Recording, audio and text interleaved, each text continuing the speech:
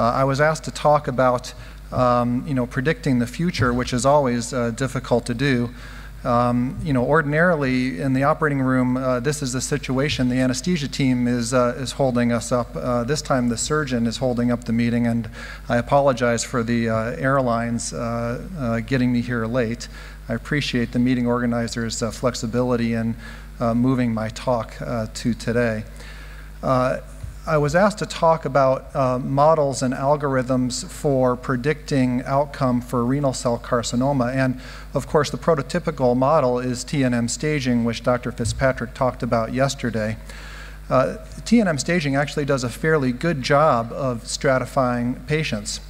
But TNM staging is basically an anatomic uh, uh extent of disease uh, description and it's probably better for uh, you know communicating the extent of disease than accurately predicting prognosis. And in fact, in the most recent version of the TNM staging manual, uh, they uh, put a caveat in there that integrated staging systems that look at other prognostic features uh, can provide more accurate prognosis. And of course, there are many, many features that we know can add to uh, anatomic extent of disease to improve uh, prognostication. Unfortunately, nobody agrees on which factors are the most important. So if you have a favorite prognostic feature that I, I neglect to mention today, I apologize. When I did a literature search recently on this topic to prepare for this paper, if you uh, try to narrow it down and you look at just the last uh, decade or so, there's well over 600 manuscripts that have some sort of uh, improvement in prognostication to renal cell carcinoma as the basis of the manuscript. The floodgates sort of opened for this in 1999 with Dr. Motzer's score looking at uh, the uh, outcome for patients with metastatic renal cell carcinoma. There were models prior to this, but the, the accelerated pace of models uh, started with Dr. Motzer setting the trend. And I'm sure everybody in the audience is very, very familiar with this model and all the subsequent iterations that have come forth. And the interesting thing about this is it's based on uh, patient-specific factors uh, rather than tumor specific factors. So, performance status, anemia, calcium, LDH. Uh, these uh, patient specific factors are highly predictive for outcome in patients with metastatic renal cell carcinoma. And the important thing to recognize is that the features of the model depend upon the patient population you're looking at and on the endpoint. And the reason that the Motzer criteria are uh, valuable in patients with metastatic renal cell carcinoma is because the tumors are actually fairly homogeneous if you compare them to a cohort of patients with localized disease. Everybody is high grade, everybody is high stage, so those features don't enter into a model, and patient specific factors are much more important. In localized renal cell carcinoma, tumor specific factors are much more important. So, what are those factors? Well, tumor grade is an important factor. Unfortunately, there is still no international consensus on how we grade patients, but no matter how you do it, it's prognostic. We know that histology has an impact on outcome, and we know that uh, papillary and chromophobe are different from clear cell. There's debate about whether or not it's an independent prognostic factor. There's multiple papers published on this subject, and I still think there's no consensus. In our data, if you look at patients and you stratify by histologic subtype, there's a dramatic difference in survival at 15 years, with 56% survival for non cystic clear cells versus 85 and 84 for papillary and chromophobe. If you do a multivariable analysis adjusting for TNM stage, grade, and histologic necrosis, clear cell patients are still twofold more likely to die tumor necrosis is an important feature. And, uh, you know, Dr. Ficarra presented yesterday the data from the Saturn project, which showed that papillary uh, in their hands uh, was uh, significantly different for necrosis versus no necrosis. In our hands, uh, necrosis is only significant for clear cell and chromophobe, so that's a, a matter of open debate still. Clearly, if you have a patient with clear cell and chromophobe uh, that has tumor necrosis, the outcome is worse. Sarcomatoid differentiation, it doesn't matter what the underlying histologic subtype is, sarcomatoid differentiation is universally bad. And uh, very few patients with sarcomatoid renal cell carcinoma are long term survivors. So, how do you choose a tool for predicting outcome? Well, again, you have to choose a tool based on the patient population you're looking at what is the uh, relevance of the tool to your individual patient population, and what is the endpoint you're looking at. And very frequently, people use the wrong tool for uh, predicting the, uh, the outcome of interest. And I think the most important thing is when you sit with a patient, you have to instruct them that these tools are not good for discriminating on the individual patient level. These tools are good for looking at populations of patients. I'm going to go very quickly through one of our algorithms just to tell you how these things are constructed. And it doesn't really matter if it's an algorithm or a nomogram or a score or what you call it. The basic principle for how you uh, make one of these is the same. So it helps if you have a registry and you don't have to review charts. And if you look retrospectively at numerous features, what we typically do is just figure out what is uh, predictive univariately and those features are then put into a multivariable model. The regression coefficients from the multivariable model for the features that were significant are converted to a score or a nomogram or some other feature which stratifies the patients. This happens to be our progression-free survival score um, that was published in uh, Cancer. Uh, which some people call the Leibovich score. Uh, just so you know, at Mayo, we don't call it the Leibovich score, we call it the PFS score. And uh, we've never assigned my name to this, so I appreciate those of you that refer to it that way, but uh, we just call it the PFS score. And it nicely stratifies patients into multiple bins based on their risk of, of having metastases after treatment for localized renal cell carcinoma. There are innumerable models to predict outcome, and uh, these are a few.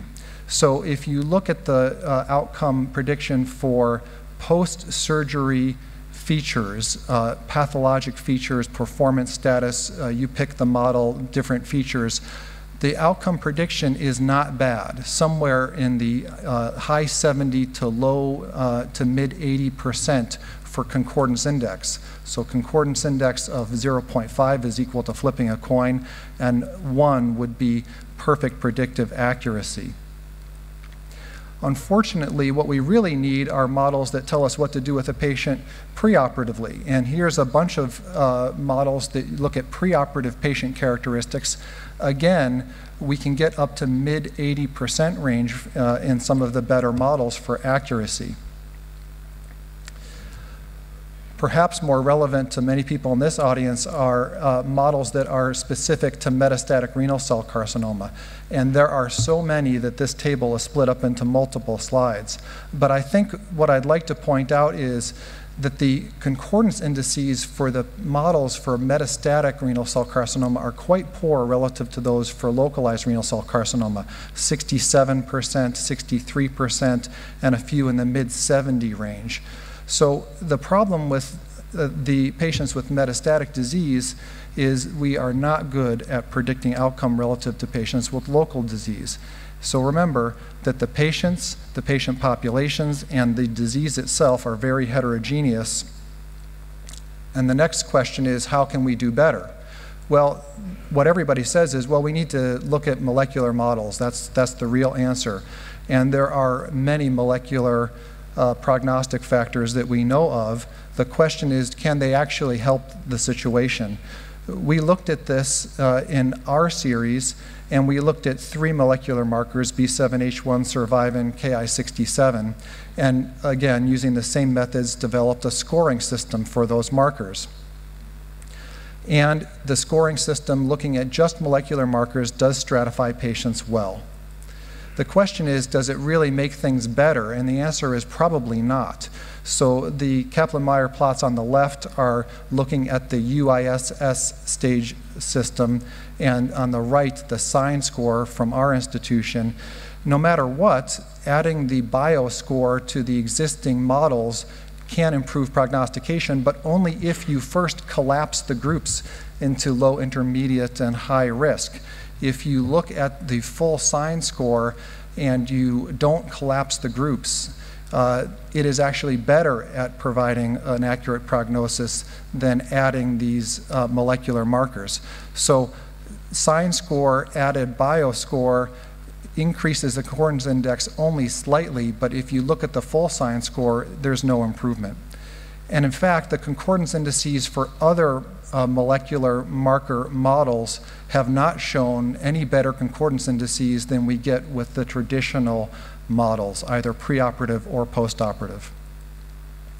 There are a bunch of models that are useful for special circumstances. So, you know, uh, this is a model from Mayo looking at the SSIGN score over time. And we've all had the experience of a patient coming back three or four years after they've been uh, treated with a nephrectomy and maybe they were at high risk, but they've been free of disease for a while. Well, we know that those patients uh, that survive already a few years are less likely to progress than those patients that progress initially.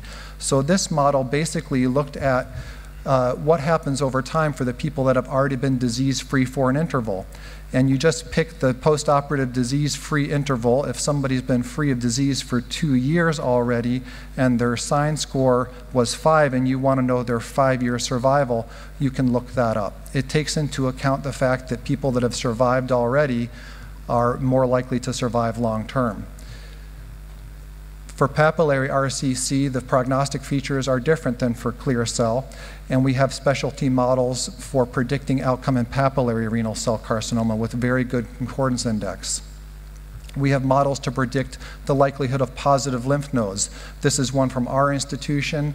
Not so great in clinical practice, to be honest, because it's all pathologic features, but it does a good job of stratifying patients probably a better way to do it is to look at preoperative features. So this is pooled data from multiple institutions looking at multiple features, which provides a nomogram that can tell us preoperatively the likelihood of having nodal metastases and perhaps relevant for planning surgery. We have multiple models, as Dr. Ficarra alluded to, for predicting renal mass complexity, allowing us to compare a series of partial nephrectomy and make decisions about partial versus radical nephrectomy. And the one that we use actually most frequently is one to help us determine how frequently and with what tests we should follow patients after therapy for renal cell carcinoma. So we assign an abdominal score and a thoracic score and look at uh, abdominal recurrence and thoracic recurrence on separate tables and this tells us what sort of interval to perform imaging and what imaging modalities are best based on the risk of recurrence in the abdomen or the thorax. So uh, in summary, these are frequently used for patient counseling, but I think you have to be very careful because these are only truly useful and truly accurate on large populations of patients, not at the individual level determination of relative risk of patient populations is a much better use for this when we are looking at uh, treatment efficacy across patient populations, helps us to guide surgical decisions and, uh, and treatment approaches. These are definitely useful for trial design and stratification and for developing surveillance programs. Perhaps most important, these models have shown us which are the important prognostic factors in the future, what we need most is uniform collection of data. I would love the ability to uh, validate the Motzer criteria, but we don't have some of those features in our registry. So clearly, we need to get everybody together and determine what features need to be included in our databases as we move forward. I think we need a model to predict those patients that will rapidly progress after a cytoreductive nephrectomy. We have difficult uh, decision making right now for that patient population. We need, we need better models to predict response to therapy. We have some. And perhaps genotyping, in addition to some of our uh, current prognostic features, will, will prove to provide uh, added prognostic stratification. I'd like to thank uh, the meeting organizers again for letting me speak today rather than yesterday, and uh, appreciate uh, your attention. Thank you.